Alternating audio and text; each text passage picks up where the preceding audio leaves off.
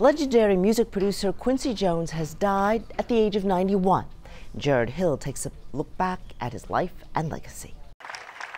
Music legend Quincy Jones propelled America's biggest pop stars to new heights and laid down the sound synonymous with some of Hollywood's biggest hits over a career spanning more than seven decades. Born on the south side of Chicago, Jones took an early interest in music. By age 14, he was working nightclubs around Seattle where his family had moved. There, he met Ray Charles, who taught him how to read music. Jones saw the world touring with jazz orchestras in the 50s. A decade later, he became the first African American vice president of Mercury Records.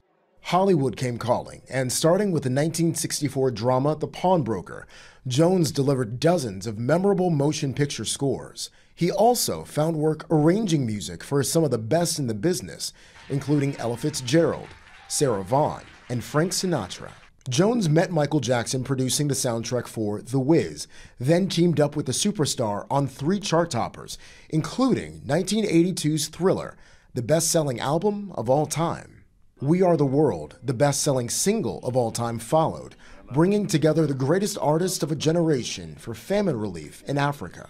Jones made his debut as a film producer on The Color Purple, which earned 11 Oscar nominations, and turned the legendary Oprah Winfrey into an actress. On the small screen, he was part of the producing team behind The Fresh Prince of Bel Air, starring a young rapper, Will Smith. And he launched the magazine Vibe with a focus on R&B and hip-hop culture. Social activism was another theme throughout his life, among Jones's many accolades, the BET Humanitarian Award, the National Medal of Arts, and a Kennedy Center honor.